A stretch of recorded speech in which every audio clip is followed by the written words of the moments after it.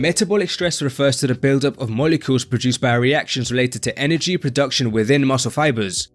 These molecules are called metabolites, and famous examples include lactate and reactive oxygen species.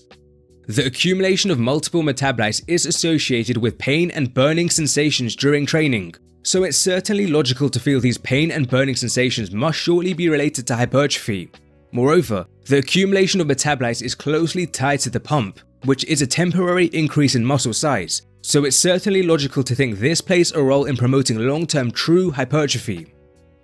In 2013, Brad Schoenfeld from New York published a comprehensive review of the potential paths by which metabolic stress could promote muscle growth. Five paths were noted. The first is metabolic stress and fatigue directly necessitates more muscle fibers getting recruited and therefore exposed to tension. The second is training that produces high metabolic stress is associated with temporary elevations in anabolic hormones, like growth hormone, IGF-1, and testosterone, and this might promote hypertrophy.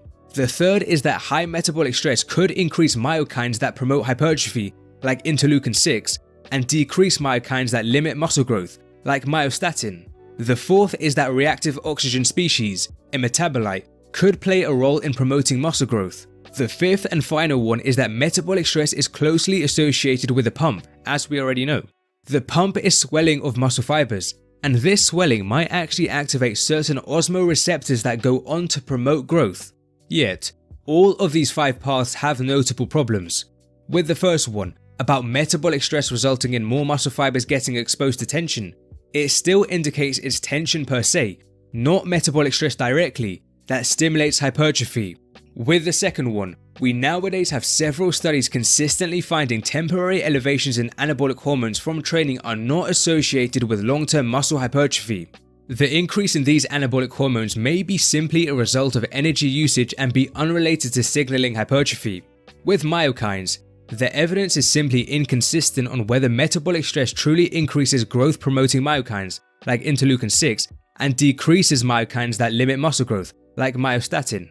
With the fourth and fifth ones, there exists alternative evidence suggesting reactive oxygen species and fiber swelling may not promote hypertrophy.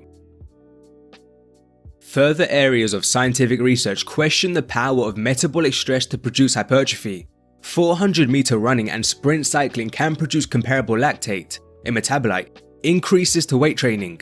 Yet these things do not promote hypertrophy anywhere near as effectively as weight training long term. A 2021 Brazil study had subjects train leg extensions with these variables. One condition rested passively between sets, while another condition restricted their leg with a cuff during the rest intervals, which led to greater overall lactate elevations versus the first condition. If lactate has additive effects on hypertrophy, this second condition should see more hypertrophy.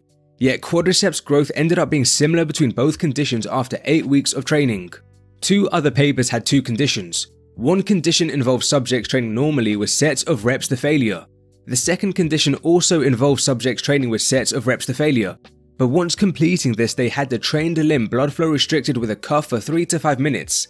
This blood flow restriction trapped the metabolites in the muscle, and if metabolites were additive for hypertrophy, this condition should see more hypertrophy. Yet, after 8 weeks, both studies found muscle growth was not enhanced when applying the blood flow restriction after training, one of the papers actually found it reduced muscle growth in the women subjects. So crystallizing this section, there's no strong evidence metabolic stress is a potent driver of muscle growth, and it doesn't appear to have additive effects on hypertrophy.